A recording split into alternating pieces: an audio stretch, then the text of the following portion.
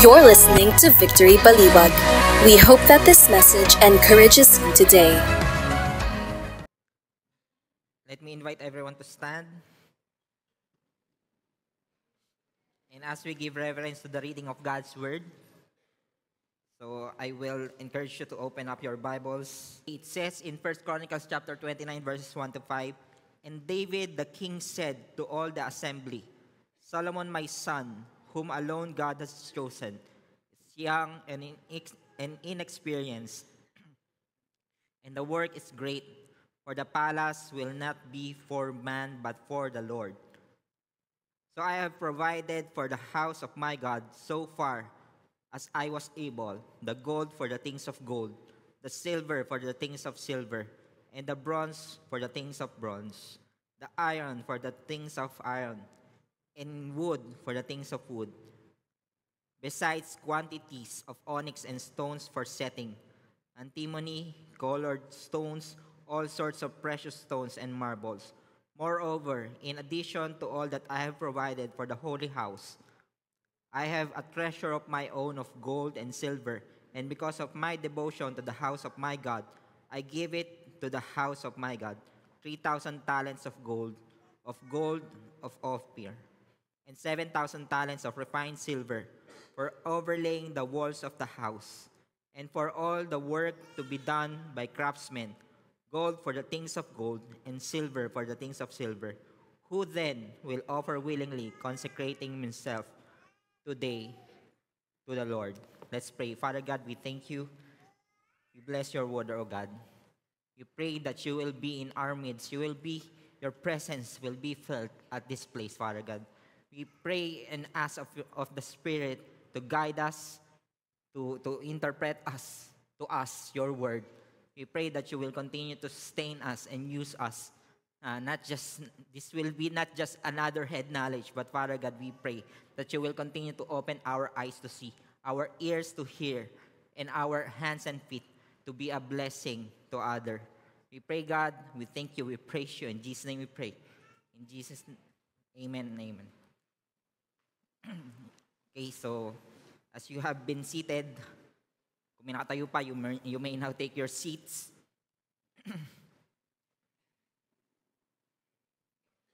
And so, welcome po sa ating 11 a.m. service. So again, um, tingnan, ah, batiin nyo naman po yung hindi nyo naman katabi kasi kanina binatiin nyo na yung katabi nyo, yung hindi nyo naman katabi.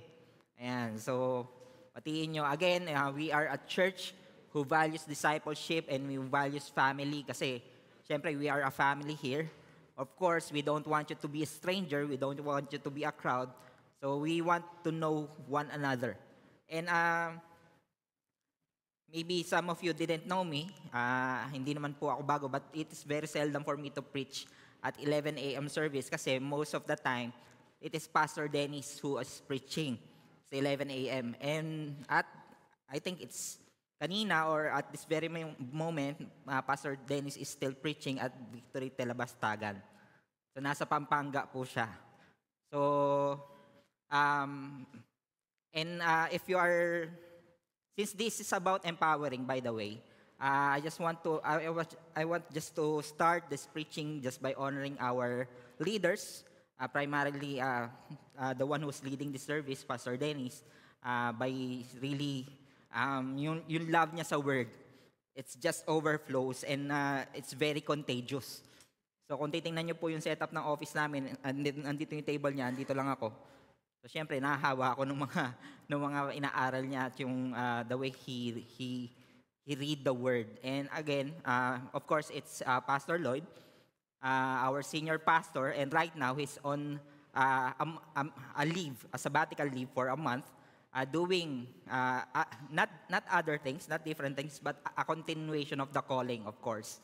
So um, he's kind of busy and um, babalik din naman po siya. Pero if um, masyado nyo na po siyang nami-miss talaga, um, meron pong event uh, at 3 p.m. later.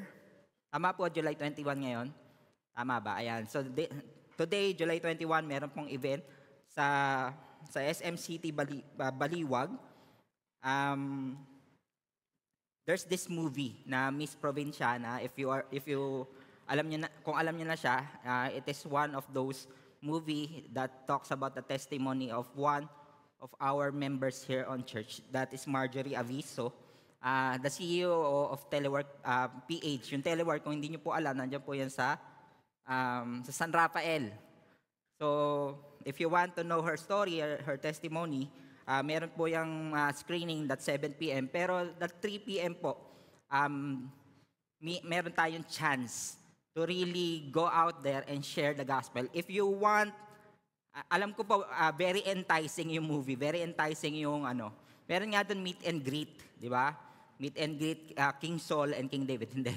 Meet and greet um, Rian Ramos ba yun? Or si Dulcero? Uh, basta they are uh, ano, mga artista. But rather, more than those things, I want us to see how the gospel was shared on that kind of setting. And Pastor Lloyd was given a chance to share the gospel on that, on, on that particular place and time. So if you want, uh, again, I hope that you are encouraged. Uh, you want to know, to, to witness kung paano ba talaga siya gawin, uh, ano ba yung mga, uh, ayun, kung paano siya gawin, kung paano siya, paano i-share yung gospel on a, on a public setting. And again, uh, because it is that that that thing that it is it is that thing or those things that we are called to do. It is to proclaim and share the gospel. And again, that is 3 p.m. Kung may time pa po kayo, mamaya po nandun, nandun si Pastor Lloyd. And again, um, just to continue our series called New Gen. So sino sa inyo nandito ka nung first week ng New Gen? Uh, we have spent four weeks talking about New Gen. And just for you, kung, kung kakasakay mo lang doon sa bangka ng, ng, ng, ng series na ito, uh, you didn't miss any, ano naman, uh, wala, wala ka naman masyadong na-miss. It's just another three week. But if you really want to, to see kung ano yung nangyari or ano yung na, na-preach natin, you can always go back to the recordings or anything. But most of all, we strongly suggest and recommend you to go to, to, to dig into the Word. Kasi every series naman na ginagawa, na, na ginagawa natin, we are talking about, it's really coming from the Word of God. So, again, um, if you want to know the series description of New Gen, pakinggan nyo lang yung kanta na kaninang pinakanta natin. Yung New Gen. So, galing, no? Magkamukha yung title and it talks about parang aksidente. Pero hindi sinadya po yun. So, new gen, again, that just as the chorus says, it is a call for new generation. So we are calling the new generation or, or the new or the generation that is um, that will replace us and and, and uh, remind them of their calling to God, calling by God to them. So yung calling na word, most of the time, yan po yung maririnig natin because everything revolves on that calling. And in particular, in First Chronicles, kung titingnan po natin, um, just a little background of the book of Chronicles, it is most of the time um, nadidikit sa pangalan ni Ezra. Siya daw ang sumulat na Chronicles. Pero ang Chronicles at that time, para po silang chat log. So kapag merong, merong mga importante pinag-uusapan or uh, decree yung mga hari, ang ginagawa ng mga scribes, sinusulat nila into chronicles. So kung titingnan niyo yung chronicles natin, somewhat, it, uh, parang kamukha siya nung story sa Samuel, story sa, sa First Kings or Second Kings. And um, again, kaya dito tayo nagpunta kasi we will be talking about David and Solomon. So bakit si David pa rin? Kasi all throughout, one, one, from week 1 to week 4, we are talking about David and his interaction with somebody. Nung, nung week 1, we talk about David and Saul.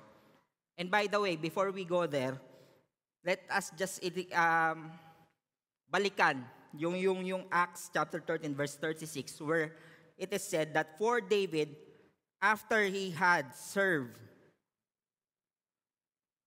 the purpose of God on his own generation, fell asleep and laid with his fathers and saw corruption. By the way, yung corruption, it, that means uh, ano siya, na dead siya. Hindi siya nakakita ng mga politiko, but rather, uh, again, uh, if you look at that, it is a mere hundreds of years after that, and yet somebody, somebody, a disciple, it's Luke, who, who is still saying that David served God's purpose in, in his generation. So how many of you want that kind of legacy? Na ikaw, kapag, uh, kapag pinag-usapan ka, uh, ah, iyan, ano yan, um, is very faithful to God. And God is really good to, to him or her. So, di ba medyo magandang ano yun? But rather, more than that, we want to go deeper why such things has said to the life of David. And um, sabi nga natin kanina, on week 1, we talk about David and Saul. Sino nga ulit nandito ka week 1? And week 1. So sa week 1, we talk about David and Saul, and at that time, at that context, David was still young.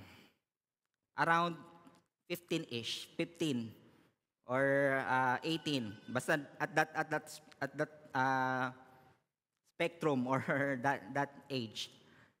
So he was very young. And in this time of week 4, he's near to his end. So matanda na siya. So 'di ba in the span of four weeks, tum- ang bilis tumanda ni David, di ba?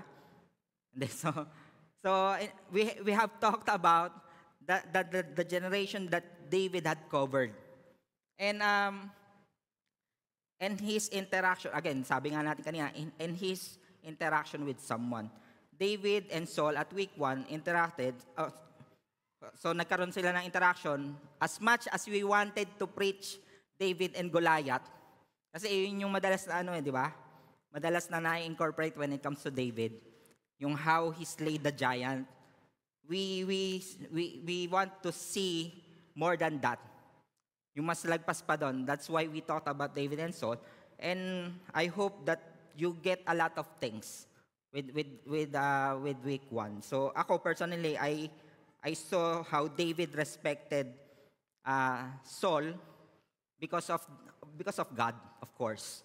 Kasi kung tutuusin, if you are young, most of the time, or, or I don't know what's, what's your, ano, kung ano yung checklist mo on how to respect someone, pero I think Saul is someone who won't check all those boxes. But yet, David respected Saul. If you, if you remember, yung sa, sa scripture natin, di ba, there is this time na si David, uh, Susugurin niya si Goliath, pero si Saul, ang gusto niya, isuot ni David yung, yung armor. Yung armor niya. And knowing Saul is about six feet tall and David was thin, di ba? Was, was young, most probably yung armor na para sa kanya. Kasi at that time, yung mga, yung mga warriors, um, yung armor nila is tailor-fitted sa kanila. Hindi hindi mahirap yung magkapalit-palit kasi hindi yun ano hindi yun one size fits all. So knowing that, knowing that David, it is very obvious uh, na, na hindi kasi sa kanya yon, it still do it anyway. And yet, by that, he shows respect. And another thing about David at that time, at, at week 1, I want just to point out how David responded in his anointing as king. Paano siya nag-respond?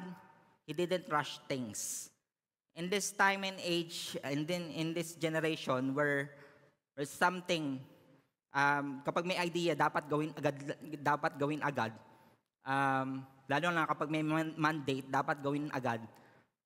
At that time, David, even he was anointed as what as will be one of the most powerful person in that in that kingdom, didn't rush things. Kasi if you are most probably, wag na lang kayo, ako na lang If I'm David at that time, kung tutusin, tingnan nyo ha, David is the forgotten son.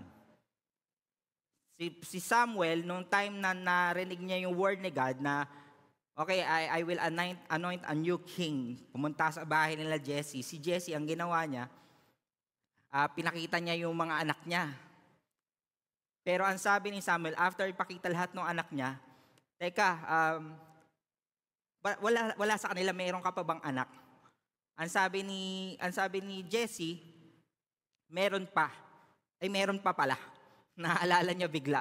And then, nakita ni si David, and then sabi ni Samuel, oh, eto yon I will anoint him. And then David, at that time, most probably, was thinking, um, ah, inapi-api niyo ako ah. Huyo kayo ngayon sa akin. So, I don't know if you have said that term, huyo kayo sa akin kapag ganito, kapag blank. Pero kung uso na that time, yung mga, pano, yung, nung mga panahon na yun, yung, yung term na yun, I don't know if David will say that, but, but I'm sure, because of his relationship with God, he will not. He didn't rush.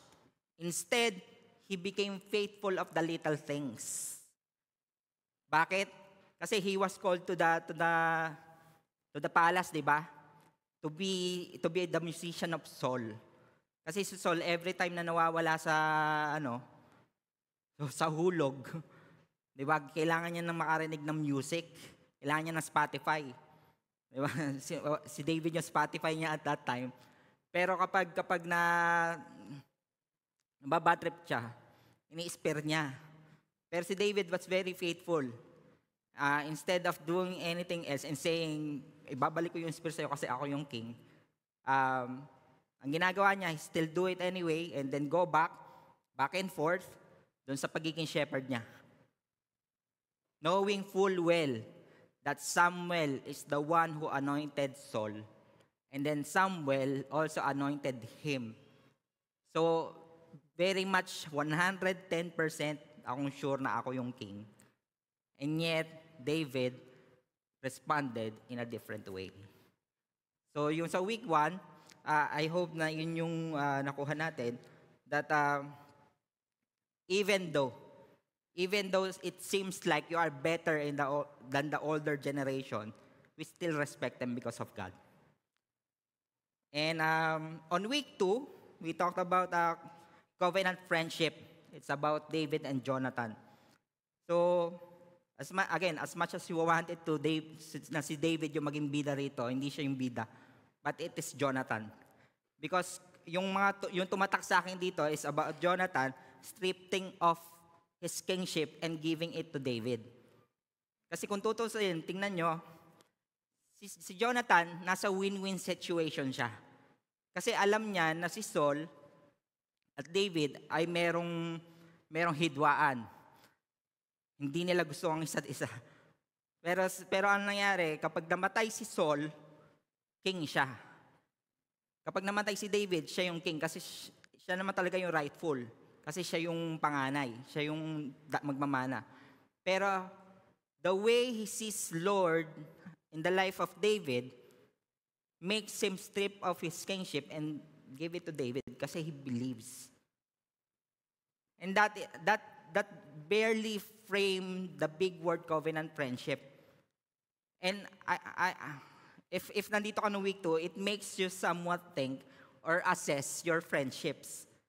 What are our, what, ano ba yung, ano ba yung grounds namin na magkaparehas kami, yung same grounds? Ano ba yon? Is it just hobby? It is just uh, for a season? Is it work? Or is it, I hope and I pray that it is God that that uh, that binds that friendship. And it is true to the to the relationship of David and Jonathan.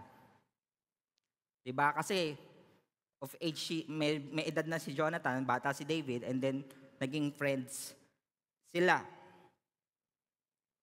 And on week 3, we talk about David and Nathan. Last week, we talk about David and Nathan. We are we are um, Nire-review natin to lahat kasi we are coming up to a conclusion. So I hope that this will all make sense after this. So on week 3, last week, we talk about David and Nathan. Now, if you will be um, putting up a, a, a statement na nakuha ko dyan, or kayo mismo, siguro yun yung you're the man. Tama ba? You're the man. At this time on current settings and, and uh, at this age, if you if someone says that you're the man, most likely you did something great. But at the, at that context in David and Nathan, when, when Nathan said, "David, you're, you're the man," It means a correction. Now, if we will be uh, looking at David and, and Nathan, si David, ang matutunan natin doon is how someone, uh, how, how one receives a correction, especially to someone who is technically lower than him. Kasi si David ay king, si Nathan ay prophet. Na, and, and si Nathan, ang matutunan naman natin doon is how to properly give correction. Naalala niyo kung paano niya kinorek si David bago niya sabihin na you're the man? Nagkwento muna siya.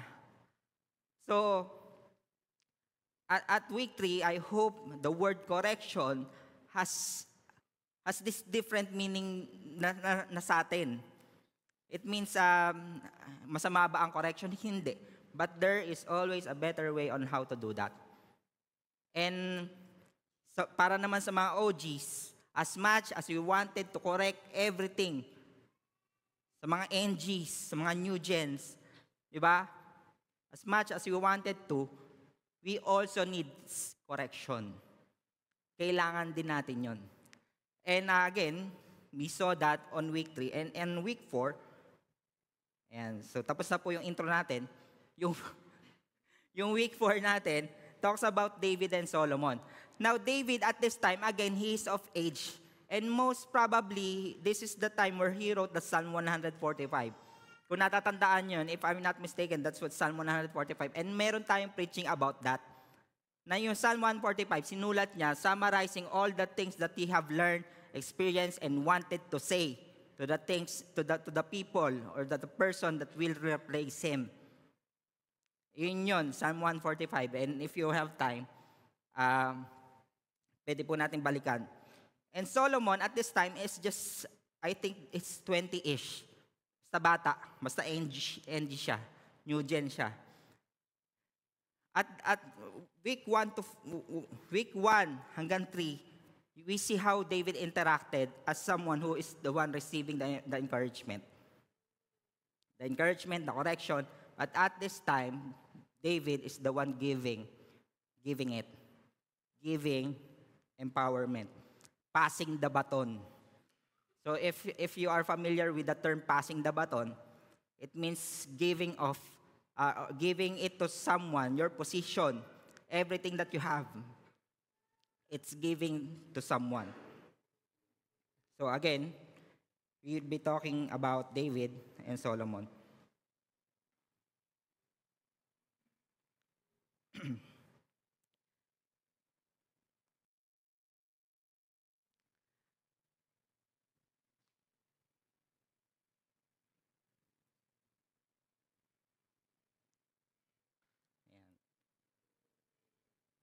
Pakibalik na lang yung sa keynote.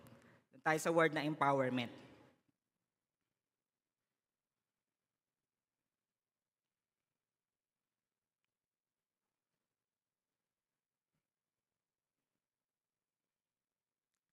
Now, the word empowerment,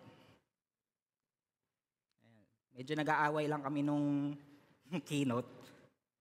Pasensya na kayo kasi hindi kami maaga gumising talaga nung keynote. Kaya Nag-aaway kami. so, when we talk about empowerment, most of the time, uh, nakatingin tayo dun sa root word niya. Of course, the power. Diba? When we say empowerment, we, we are giving someone the power, the authority, the, the position that we have. But again, there is more than that. Again, it is half the truth. But when we say empowerment, there are deeper things that, that, that the Bible is saying when it comes to empowerment. And again, why do we need to talk about this? Bakit ba natin kailangan pag-usapan yung empowerment? Now, how many of you, medyo you spent quite some time sa church na to? When we say quite some time, maybe two, two months more, ano, more than two months, meron ba? Isa lang? More than. Kapag sinabing more than, ibig sabihin kung five years ka. so most probably, uh, marami sa atin. And it feels like it's somewhat comfortable. Kasi bakit? Pagpunta mo pa lang sa parking, nag-park ka, minsan, I don't know if this happens to you, pero dapat spot mo yon pero binigay mo pa rin sa iba. Di ba? And then, pag akyat mo dito, you are greeted by the ushers, smiling right, uh, smiling to you, and you are smiling back. Di ba? Tapos, pag upo mo dyan, malamig, komportable. Tapos, there are, there are, andyan sila Pastor Dennis, sila Pastor, uh, Pastor Lloyd, who, who, who preach the Word of God, the truth of the Word of God. And then you felt like, ah, gusto ko sa church na to. And um, gusto ko sa church na to. And uh, you felt like you medyo spoiled ka na. Na you, you go here, it's a routine, you go back, you go home, you go back, you go home. And then, kapag nandito ka, um, hindi ko alam kung may nagpe-pray nito na parang saan dito, ganito lagi kahit saan ako magpunta. Hindi lang yung malamig ha. Pero, you see, when you go outside the vicinity of the church, not just vicinity na sinabi natin yung vicinity as in physical, but when you go out, we see that the word, kasi this is all uh, a result of leadership. Ito po ang resulta ng leadership. Kasi the reason why we are here, um, of course, galing yan dun. Kaya nga tayo nagkaroon ng, di ba, 40th anniversary. More than, more than, uh, of course, those are the little things that we celebrate. The leadership, the faithfulness, of course, the faithfulness of God, pero there's this leadership. Kasi kung wala yung leadership, wala naman tayong lahat dito. And it felt like, paglabas mo, there's a, there's a different definition of leadership. Diba? There's a distortion of the word leadership. Kasi paglabas mo, ma, maba, ma, mababako ka, yung, yung, ano, yung, yung, yung kalsada hindi pantay, yung kalsada buo pa, sinisira na. Tapos, minsan pupunta ka, pupunta ka, kukuha ka ng valid ID, tapos a requirement, valid ID. Alam niyo yun, there's, there's this distortion of leadership. I don't want to be political, but again, to cite an idea, there is this time na parang parang minsan naupo ka doon sa, sa, sa gilid at naisip mo, nako, sana, sana taga-church to. And I hope and I pray that, uh, that, that we, will, we will still hope that someday, whenever we go, kahit saan, kahit saan tayo magpunta, it feels like church. Diba ang sarap nun? Na kapag may naiwan kang bagay, babalik sa'yo. Di ba? Pag, kapag merong, kapag merong kang mga bagay na, na na-miss out, merong someone who's really caring because they love the Lord. You see that?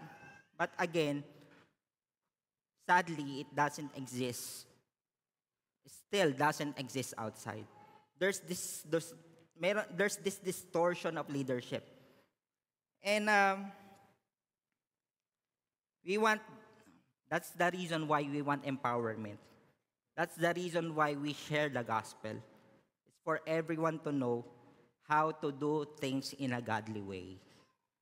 How to do things in a rightful way. And who is this preaching for? Para kanino to? Baka mamaya inisip natin, ah, I've done, uh, I've witnessed all of those. Wala din namang mangyayari. Um, when we say empowerment, there are two parties involved. There's the one who is giving the, empower, the, the, the empowerment. Empowerer na word ba? Wala naman yata. Meron ba? Empowerer? Ngayon meron na, sige. the one who's giving empowerment and the one who, was, who is receiving the empowerment. Empoweree. Meron bang empoweree? Wala. Meron na uli. Meron na ngayon. so, so there's this two parties involved. And at that time, we see the life of David from being someone who needs empowering to someone who is giving empower, um, empowerment. Now, if all of us will be asked, is this preaching for me? Is this message for me? Of course. Because at some point, David was young. And after three, after three weeks, four weeks, David was at the end of this, at the end of his age. So ibig sabihin, para sa ating lahat ito. Because at, if you look at it, if you, if you really observe, there is someone who is always lang, younger than you. And there is always someone who is older than you. You are, you are, you are always in between a generation, two generation.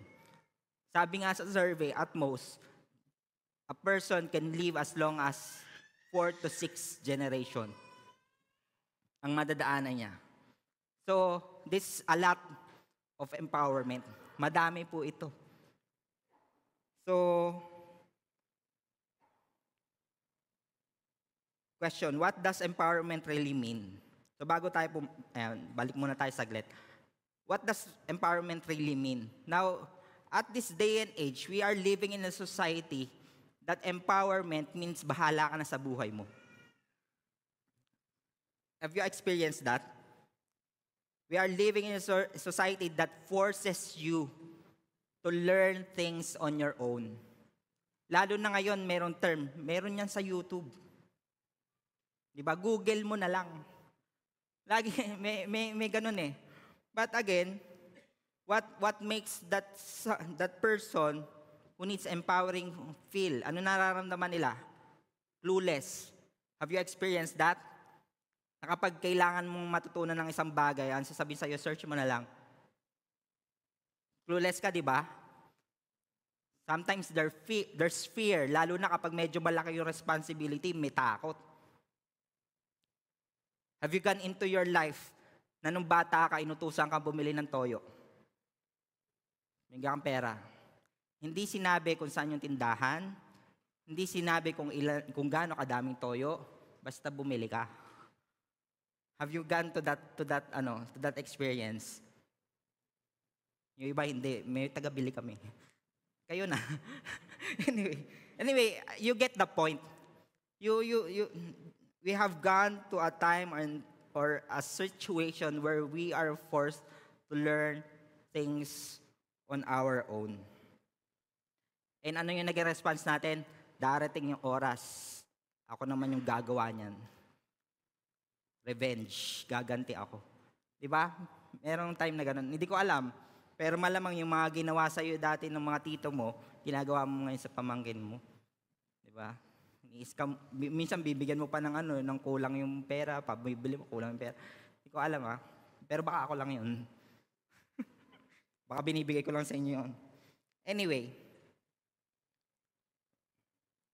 Now, the context of, of a very a very quick context when it comes to um, First Chronicles 29. Siyempre, susunduin natin niya from, from David and Nathan. Susunduin natin yan.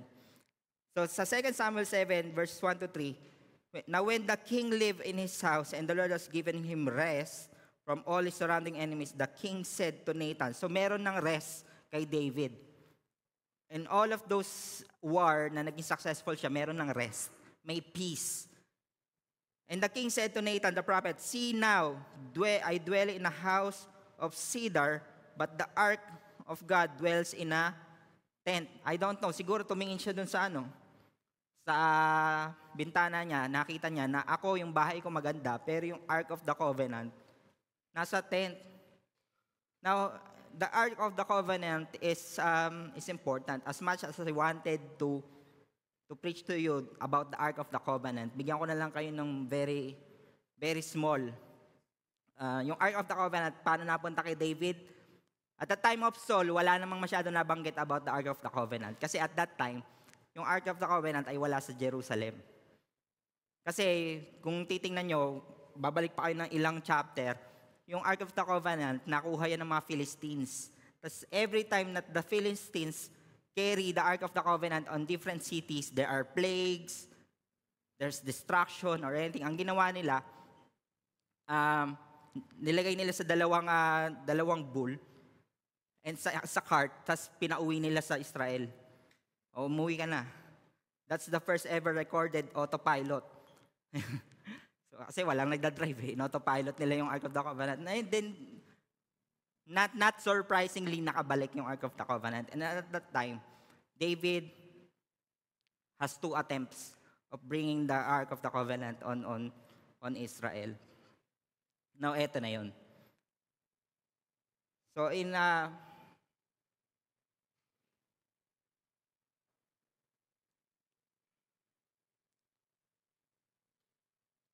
nag-aaway uli kami.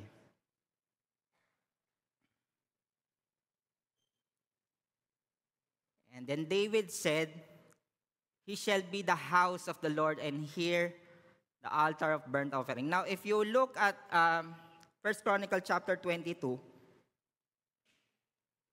verse 1, that is the time na si David, alam naman natin si David sinned and he repented. And then he sinned again. Paano? Binilang niya yung mga tao, gumawa siya ng census. Now that is not uh, pleasing to God at that time kasi hindi naman hindi naman niya inutos. So they were they were smite um, they were judged by, by the angel of God. And then David repented again. And then at that very place, ang sabi niya, Here shall we be the house of the Lord of God, and here the altar of the burnt offering. Dito daw itatayo yung temple. Now, if you want the specific place, nandun po yun sa Bible.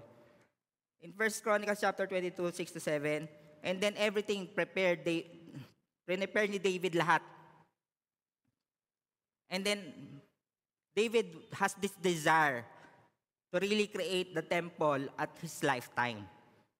Pero, ang sabi sa 1 Chronicles chapter 22, 6 to 7, Then he called for Solomon his son and charged him to build a house for the Lord, the God of Israel. David said to Solomon, My son, I had it in my heart to build a house to the name of the Lord my God. But the word, but the word of the Lord came to me saying, You have shed much blood and have waged great wars. You shall not build a house to my name because you have shed so much blood before me on the earth. In short, sabi ni God, hindi ikaw yung magbibuild ng house ko, hindi ikaw magbibuild ng temple because you have a lot of blood in your hands. So, when we say empowerment or empowering, I just want to focus on three things on 1 Chronicle chapter 29. Three things how to empower. First one is to empower empowerment through calling. Sa natin makikita yan. In 1 Chronicles chapter 29 verse 1, And David the king said to the assembly, kapag sinabing assembly, it's the officials of the Israel at that time. Kung babalik pa kayo ng ilang chapter, makita nyo dyan how David assembles the assembly. So, nandyan yung musicians, yung military, yung priests, everything. Everything. Uh, the important people of Israel. In front of them, ang sabi niya, Solomon my son, whom alone God has chosen. Whom alone God has chosen.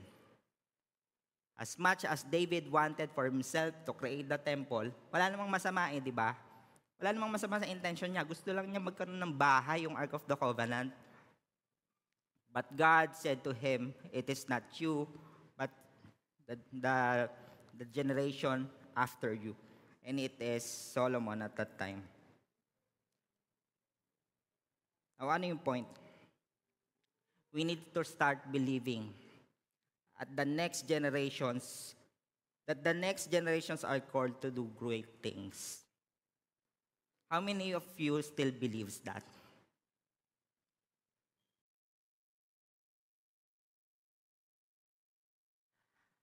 Now, alam ko sa inyo, medyo nahihirapan kayo magtaas ng kamay. Bakit? Kasi kung titingnan natin, we are again living in a society that people label you based on your past mistakes. Tama ba? Yung mga dati mong kamalian, more than the calling, people give you names of your past mistakes. Just ano lang, just a little story. Nung elementary ako, grade 2, every time na papauwiin na kami, ang huling subject namin ay math. Ang gagawin ng teacher namin, papapuntahin kami sa likod, Bahala na yun, labo-labo kayo. Tapos magpa-flash siya ng cards. May mathematical problem. Tapos kapag kapag nasagot mo, uwi ka na.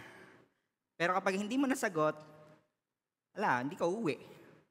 Most of the time, nandun ako sa top 5 na hindi umuwi. so, so, bukod na, kung, kahit na alphabetical nila pauwiin yon ganun din. Pero ayun, bakit ang ginagawa ko, pumupunta ako sa likod. And then, at that time, people will call me, ah, yan yung mahina sa math. Yan yung mahina sa math. And uh, even, even the people, kahit mga pinsan mo, ah, mahina sa yan. And then, sadly, I, I carry it kahit nung college life. Bakit? Nung college ako, sinasummer ko lahat ng math subject. Integral, calculus, physics 3, physics 4, lahat yon sinasummer ko kahit hindi ako bagsak. Bakit? Kasi kapag summer, maiksi yung time na magmi-meet kayo, minsan yung teacher, tinatamad pang pumasok. Bakasyon eh. Tapos ang sasabihin nila, ah, mag-project ka na lang, okay na yan. Now, we can say this that uh, at some point, you agree because it happens. It happened to me, it also happened to you. I don't know kung anong mga bagay ang, ang binigay na label sa inyo. Mahirap lang tayo. Uh, hopefully, walang, walang, walang lumaki dito na narakawag kang pangit or anything. But people are very creative in their ways of naming us. Even, even I. I named a few people na up, up to this day, even other people, sila yung sila yung nagaano, sila yung tumatawag sa kanila na ako, wag na. ako yung nagpasimula niya, wag na. But again, um, we need to start believing that the next generation are called to do great things. Because they are called by one, with the great God. Hindi lang naman kung sino-sino lang ang nagtawag sa next generation, it is God. Pwede pa sana kung, kung, ibang, kung, kung sino-sinong tao lang yan. But again, um,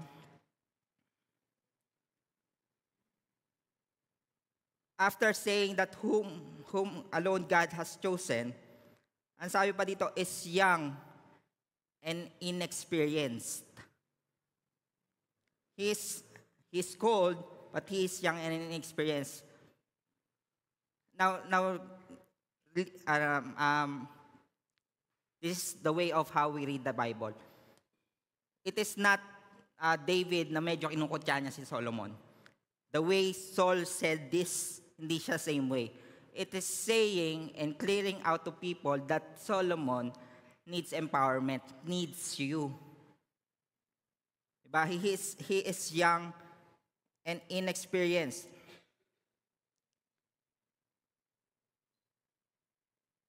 Now again, um, many of us has been labeled different, different things. Na para, para gawin mo yung isang bagay, na you felt like, eto calling ko to, pero somebody has, has stripped you off with that calling. And I remember this, this time na I expressed, ako na lang uli, I expressed this time na gusto kong maging, ano, gusto kong kuhanin sa college ay fine arts. Now, one of the people uh, nun, sa pamilya namin, sa konteksto ng compound namin, merong isang tao doon na sabi niya, ano gagawin pagka-graduate mo, magkukulay ng itlog na pula? Now, did I took up fine arts? Hindi. But again, I hope that if you are one of those people who has the authority to speak, speak life.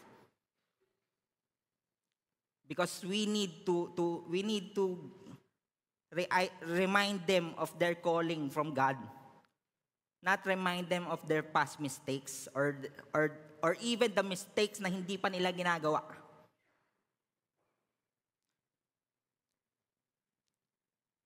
Now, when we say that we empower someone, we declare that God is sovereign. Kasi sabi nga natin kanina, di ba? We, we live in a society where, where, where people are defined by, by, by their mistakes. Now, if you believe that, if you cannot trust someone, di ba? Minsan, di ba, nahihirapan nga tayo magtaas ng kamay kanina. Kasi bakit? Kasi naaalala mo yung time na may inutos ka, hindi naman natupad. Hindi naman nagawa. Di ba? Pinaghugas mo lang ng plato, nakabasag pa. Eh, plastic yun. di ba? You, you see that? Tapos pinagsaing mo, nakasunog. Eh, rice cooker yun eh. Di ba? If you, if you, now that's exaggeration, but it happened. It ha, hindi, hindi nangyayari yung mga bagay na yun. Pero but again, there are things that you that your mind is telling to you right now na oh nga no it it happened to me and not me but it also happened to someone I know but again if we operate on distrust how can we say that we trust God eh si God nga yung tumawag sa kanila and then we say we don't trust them but we trust God it's not it's not gonna happen hindi, hindi mangyayari yun na we trust God and then we, we don't trust them. When we empower someone fully, that means trust. And that means declaration that God is sovereign. What makes you think that God cannot fix mistake? What makes you think? Are you better than God? Kasi tingnan mo ah, kung sa tingin mo magkakamali siya, bakit hindi ka ba nagkamali? Are we called to be perfect? Hindi. But we are called anyway. If you will if you look at the Bible, most of the people in the Bible are failures being called by God. Now, what is stronger, the mistake or the call of God? It's the call of God. Then why we do why we call people with their mistakes? Again, we want to declare that God is sovereign. If again we distrust someone, then who is the God you are worshiping? Sino ba? Kasi si God, siya mismo, nagtinawag sila despite of everything. And yet, tayo, we are judging them. Who are we to judge? Just as we said, God can move and work through undeserving and ill prepared individuals who choose to obey Him. Again, if you look at the Bible, there are a lot of people who are undeserving, who are ill prepared, even us. Huwag na tayong human sa Bible, tayo na lang eh. Are you deserving? If you, again, if you ask for God what you deserve, ingat ka. Say, all of us deserves hell, His wrath. Are you prepared? In this day and age, where people always ask this time, this, this, this very few things, are we undeserving? Are we prepared? God calls these people who are willing to obey. The next one will be empowerment through grace. Calling, then grace. Grace was given to us, we empower through that. Ang sabi sa 1 Chronicles chapter 29 verse 2, So I have provided, so I have provided for the house of my God. So far, I was able, the gold of things of gold. Tingin ka sa katabi mo, madami bang gold yan? Silver kaya. anyway.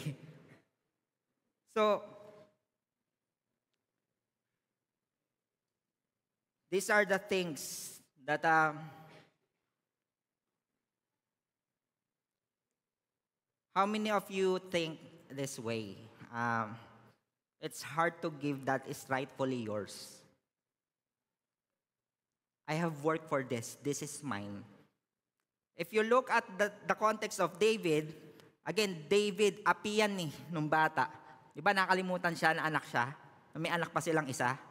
Napagkamala niya yata siyang ano eh, sheep or anything. Kaya siya nakalimutan. But again, nakalimutan siya. And then wala pa siyang ibang ginawa kundi umilag sa spear ni Saul. Tapos oh, ilang years siyang nag, nag ano, nag uh, umiiwas kasi gusto siyang patay ni Saul. Now at this time that he is king, he has all that riches. If we are in the place of David, ang sasabihin natin na after all those hard work, this is mine. Akin to eh. Bibili ko to ng iPhone. Ko alam. But again, but yet, he did the other things. The, the different thing. He gave it to Saul. He gave it to, to, to, to the one, to the, to, to the next king. Hindi niya, hindi niya, hindi niya hindi niya kini para lang sa sarili niya. He had provided for the house of God. Again, David did not use the opportunity to get back at the, at the next generation. Di ba? Hindi siya gumante. Now, um, I, I hope and I pray that we will be like David at that, at that uh, aspect. We want to be the fathers that we that we wanted to have. Alam mo 'yon? We want to be the kuyas and ates that we wanted that we have missed the chance of having. We want to be we want to be like that. That somebody who will not who will not get what who will be generous enough, who will be graceful enough to us not to look at our, not to look at our what we can do but to believe to trust not not to label you with with your mistakes but rather to always remind you of how God called you we want that are we one of those people if we want that for our life tayo ba mismo ganon Now last, it's empowerment through faith. Calling, grace, and faith. More than giving the things of the kingdom. Ang sabi sa 1 Chronicle 29 verse Moreover, in addition to all that I have provided for the holy house, I have treasure of my own more than the treasure of the, of the kingdom, meron pa siyang savings of his own. That is not just rightfully his, but that walang kinalaman dun sa, sa treasure ng kingdom. I give it to the house of my God. That's what you call faith. It's investing to the next generation. Now, as much as we wanted to invest, baka, I'll break the silence, money. If you can, go ahead. But if we look at it, it is more than that. Let me ask you this question. What is that one thing that you are so good that you can, that you can offer the next generation? Magaling ka ba sa math? Baka pwede mo turuan. Baka magaling ka sa isang part na kung saan yung next generation will see God. Maybe you are you excel on your studies. You have excelled to your study. Maybe magaling ka sa accountancy and you see someone who is new to that. Now, you have that you have that treasure. Are you willing to give it to the next generation? Are you willing to trust God that they are called to do that.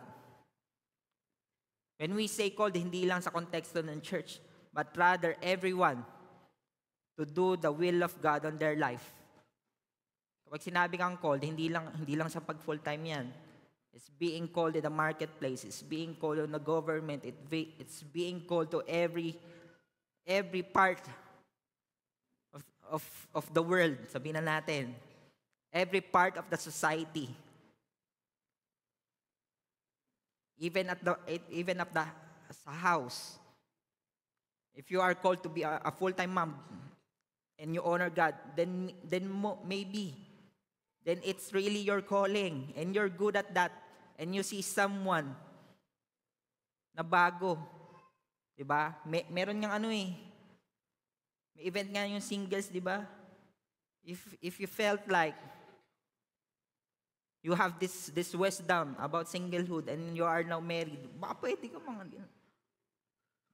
Baka pwede you can invest.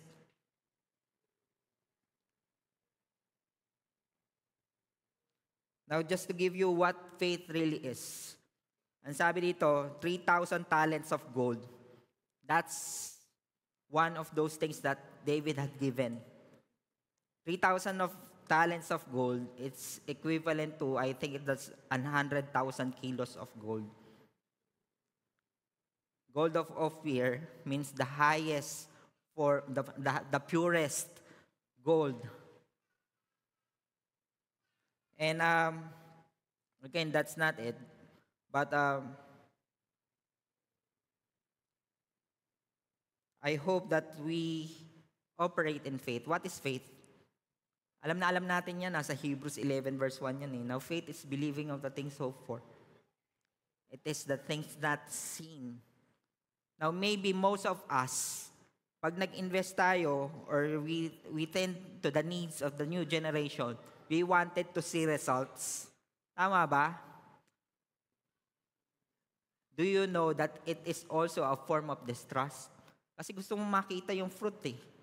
Now, it is, hindi hindi masama yon, but rather it is designed like that. Now, if you look at um, the Hall of Faith, pag nakita niyo yung Hall of Faith, yung mga tao nakalista doon, hindi naman nila nasaksihan yung ano eh, yung promise ni God na nangyari. But they are called faithful because they have obeyed. And ang sabi, lastly, on 1 Chronicles chapter 29, 29 verse 5, And for all the work be done by craftsmen, gold for the things of gold and silver for the things of silver, who then offer willingly, consecrating himself today to the Lord? That is the question of David to the assembly. After all these things that you have heard, who among you are offered to are willingly offering at, at, at, that, at that time the building of the temple but how many of us has been moved I, I hope again hindi lang ito head knowledge but have been moved to build the next generation. Now, if you will be asked right now, what is, an, ano ba yung mas, mas may, may sense na gawin sa buhay na to, other than investing to the next generation? Meron pa ba? Kasi wala, ako personally, wala na akong makita. In addition to, to, or again, it's very clear that God wanted it. But if your goal doesn't align to it, then what's your goal? What's the purpose of life?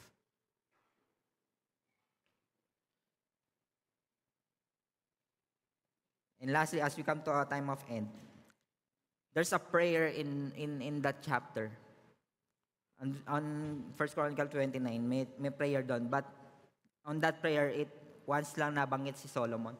Ang sabi, grant to Solomon my son a whole heart, that he may keep your commandments, your testimonies, and your statutes, performing all that he may build the palace for which I have made provision.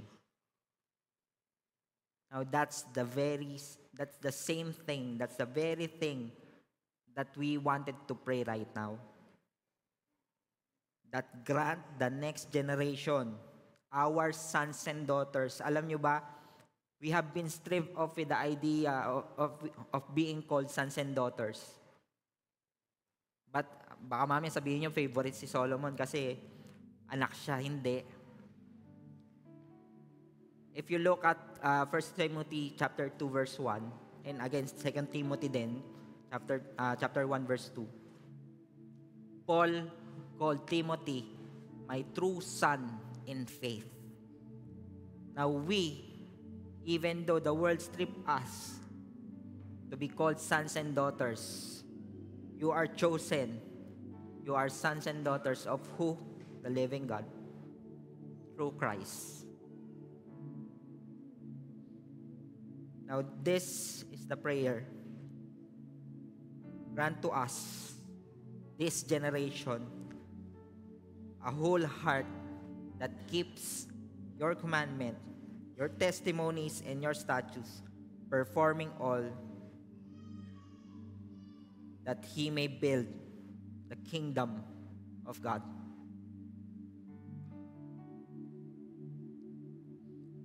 True empowerment is raising the next generation to hear and obey God. As much as you wanted to for them to be successful in all of these things, all boils down to the question, is this God honoring? Diba? Bumalik lang rin tayo sa simula. Now, I just want to invite everyone to stand as we come to a time of close. When we say bumalik tayo sa simula, in sa Acts chapter 13 verse 36. For David, week 1 hanggang week 4, all throughout his generation, had served the purpose of God in his own generation. Fell asleep and was laid with his fathers in so corruption. Now, spoiler alert, Solomon fell. After all of these things, ganun din pala, magfo-fall ka rin pala. Bakit? Ang dami niyang wives that causes idol worship. That caused the, Israel to fail. But you know what? Hindi naman tayo na, hindi naman tayo tinawag para maging perfect. But we are called to obey. We are called to empower. We are called to be partic- participants to God's plan. There's, you have given the gift of salvation. What to do with that? It's to share. It's, it's, you have the gospel. What's to, anong, ano yung dapat gawin doon? It's to share. Now, we don't want to take sharing literally. Na, yun lang, share lang. But rather, we want the whole context of it. Even stripping off with whatever we have and giving it to somebody who has a calling. Who has been called by God.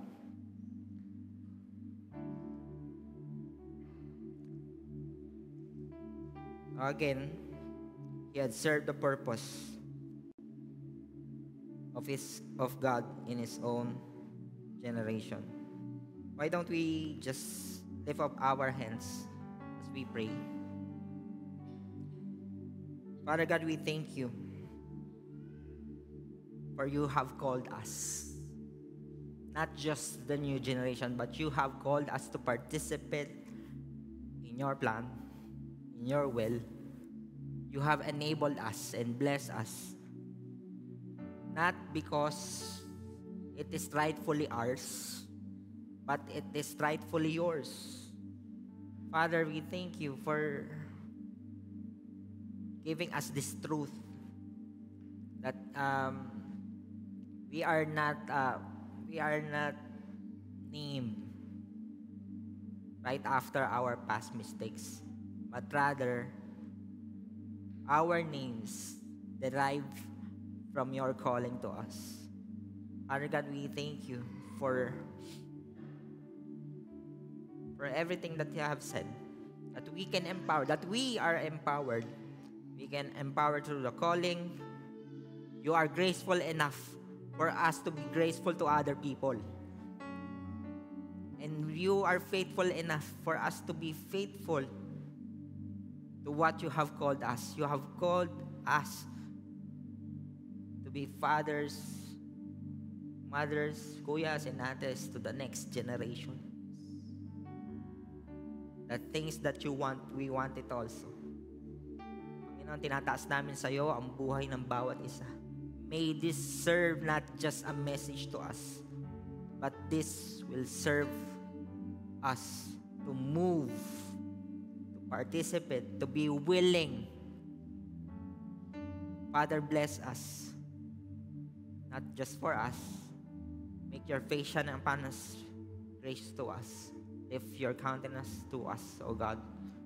Grant us peace as we walk out to that door. May we be empowered to empower. Thank you, God. The highest praises. In Jesus' name we pray. Amen and amen. Thank you for listening to Victory Baliwag podcast. Follow us at Victory Baliwag on Facebook and YouTube for more details as we honor God and make disciples.